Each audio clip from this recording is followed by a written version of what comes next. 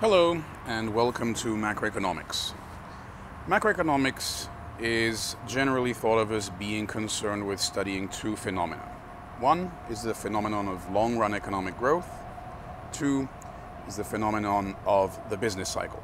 One concerns long term trends in output per capita and perhaps other macroeconomic variables, and the other concerns short term fluctuations around that trend in GDP per capita and other macroeconomic variables.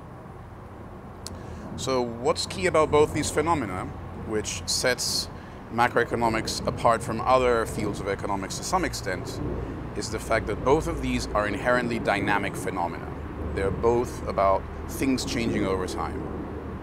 As a result, in this class, we will start by looking at some powerful mathematical techniques that are useful for understanding how things turn, change over time. Right from the beginning, we have to think about what do we mean by time, or how are we going to model time. It turns out that there are two ways to think about time. One is of time as being a continuous flow, which is more or less the way we experience time. And in that case, time would be a continuous variable drawn from the set of real numbers. An alternative, however, is to think of time as occurring in discrete jumps. So then we would talk about things that happen on a particular date, and then the following date, let's say today versus tomorrow and the day after tomorrow, or one month to the next, one quarter to the next, one year to the next. In that case, we're thinking of things in terms of discrete time. In macroeconomics, we'll very often find ourselves talking about time as being something that occurs in discrete steps. Why do we do this? Well, there's a very good reason. The reason is because the data that we're going to talk about is, of course, measured in discrete steps. It is not possible to have continuous economic data on anything. There have to be a sequence of snapshots.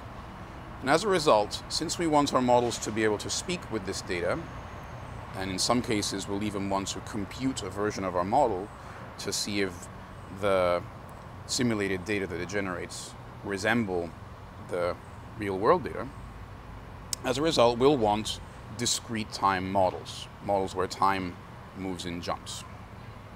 Now you could think of an alternative, which would be to have a model where things move continuously and you simply measure it at snap certain snapshots, uh, measure it at certain intervals, sorry. And that might be challenging, but just put it out there as a potential idea. Uh, the mathematical techniques that we need to think about a model with discrete time are known broadly under the umbrella of dynamic programming. So the first thing we're going to do is we're going to learn a bit about dynamic programming, first about how you might use it, and then we'll talk about some of the real and functional analytical foundations that allow us to do dynamic programming. After that, we'll apply dynamic programming techniques to think about some problems in growth and eventually maybe the business cycle. If we have time, however, we will maybe have a conversation about the use of continuous time models because those are also um, useful in certain contexts. In particular, if there is any date that an agent is choosing um, in order for a particular action, in discrete time, it's, there's going to be no sort of differential condition that pins down exactly what that date is. Whereas in continuous time, there might be. That means that in certain contexts, continuous time models are very useful. And for that, we will need to learn a different set of techniques called optimal control. And hopefully we'll have time to get to that towards the end. In between, we'll also look at some areas of research that don't necessarily show up in any standard first year PhD macroeconomics class, but there are things that I know about, and I think that it's always good for students to go in depth into some topic or another that fits the professor's expertise.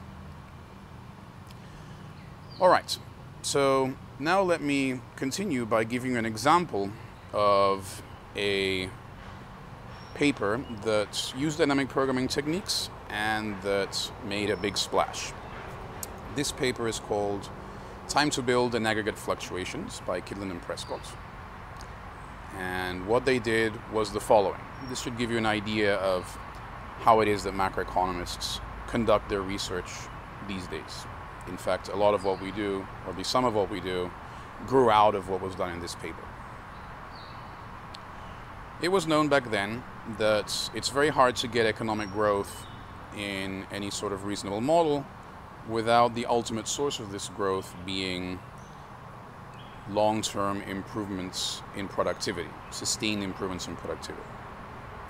It's very difficult to get economic growth in the model without that.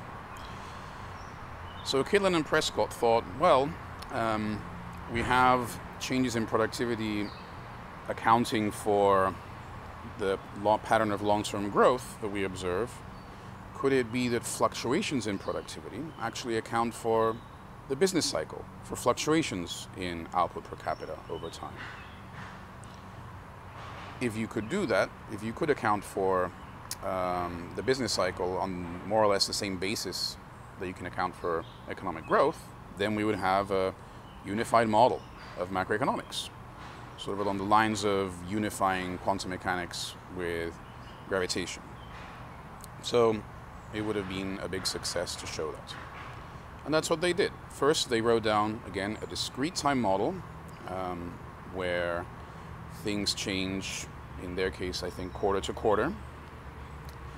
And in this model, there were going to be productivity shocks as well as trends in long run growth. And what they did then is they found values of all the parameters of this model that arguably were consistent with the data. And then they put this on their computers and they simulated it many times to see what the business cycle looked like in their simulated economy. And they found, to their surprise, that the business cycle dynamics of this simulated economy were not too unreasonable. Of course, they didn't match the real world data perfectly, but they did a reasonable job of generating business cycles of roughly the correct magnitude in terms of how much does um, output per capita fluctuate from quarter to quarter. They did a reasonable job in terms of the correlations of different macroeconomic variables like labor, um, labor use, output, consumption, investment, and so on. So that paper was found to be so compelling that at a conference I went to a few years ago, the organizers actually decided to print the front page of that paper onto a t-shirt. So that's how big a splash this paper was able to make. So again, welcome to this macroeconomics class. I hope you enjoy it. I hope you learn a lot. And I hope that when you finish this class and you go on and do your research, whether in macroeconomics or in any other field where these dynamic techniques may be useful, that whatever you come up with is so compelling and so groundbreaking that other people decide that they want to put it on a t-shirt as well. Thank you.